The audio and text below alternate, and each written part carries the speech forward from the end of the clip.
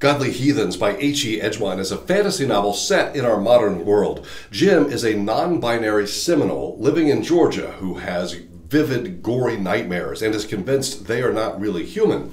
Then Willa May moves to town and informs her new friend that Gem is the reincarnation of an ancient god with undiscovered and immense power. And also, they really made some enemies the last time around, and some of those gods are looking for revenge. It's a lot to take in, and Willa May also tells Gem that, oh, by the way, the two of them are soulmates with countless previous lives together that Gem just doesn't remember yet. That news complicates Gem's relationship with Enzo, their best friend living in New York, who has been waiting for Gem to graduate high school and move to the big city. The pantheon of gods we eventually meet from the realm of ether, all of whom take the form of teenagers that find their way to rural Georgia because of Gem.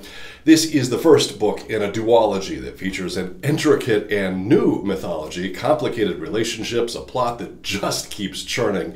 Pick up a copy of Godly Heathens as well as the sequel Merciless Saviors, since the first book, of course, ends on a cliffhanger.